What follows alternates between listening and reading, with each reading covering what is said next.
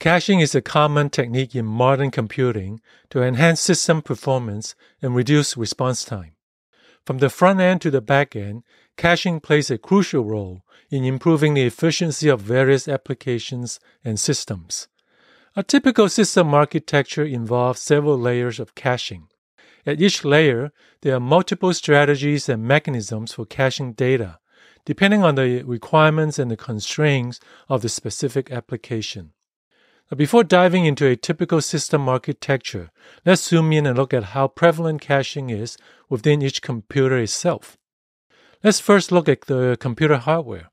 The most common hardware caches are L1, L2, and L3 caches. L1 cache is the smallest and fastest cache, typically integrated into the CPU itself. It stores frequently accessed data and instructions allowing the CPU to quickly access them without having to fetch them from slower memory. L2 cache is larger but slower than L1 cache and is typically located on the CPU die.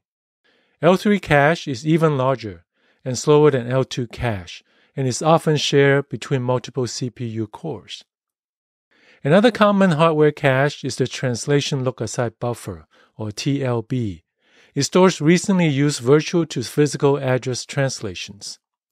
It is used by the CPU to quickly translate virtual memory addresses to physical memory addresses, reducing the time needed to access data from memory.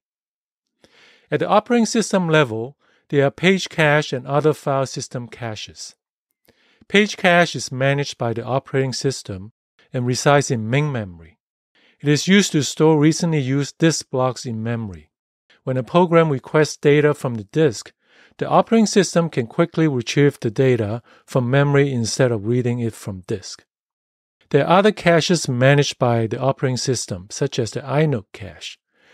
These caches are used to speed up file system operations by reducing the number of disk accesses required to access files and directories.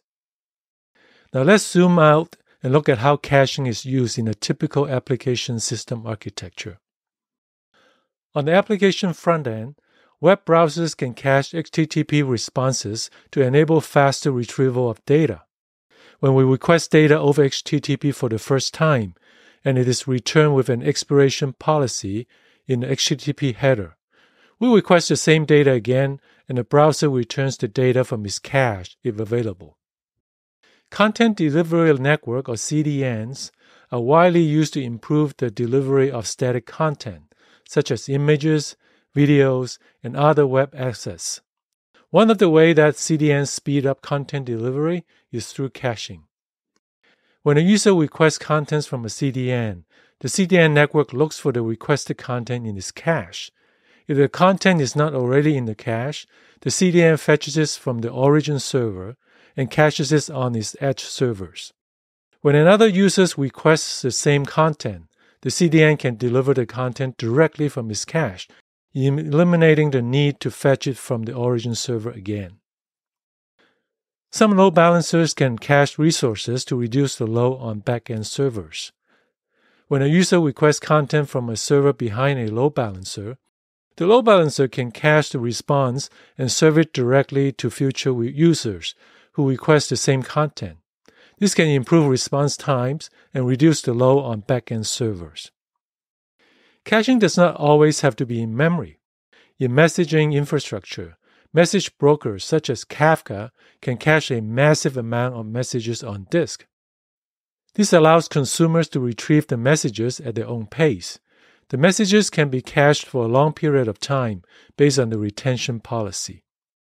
Distributed caches such as Redis can store key value pairs in memory, providing high read write performance compared to traditional databases.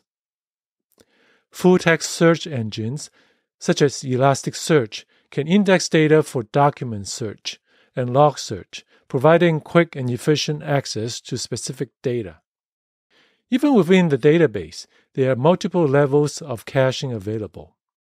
Data is typically written to a write ahead log before being indexed in a B tree. The buffer pool is a memory area used to cache query results, while materialized views can pre-compute query results for faster performance. The transaction log records all transactions and updates to the database, while the replication log tracks the replication state in a database cluster. Overall, caching data is an essential technique for optimizing system performance and reducing response time. From the front end to the back end, there are many layers of caching to improve the efficiency of various applications and systems. If you like our videos, you might like our system design newsletter as well. It covers topics and trends in large scale system design, trusted by 300,000 readers. Subscribe at blog.bytebytego.com.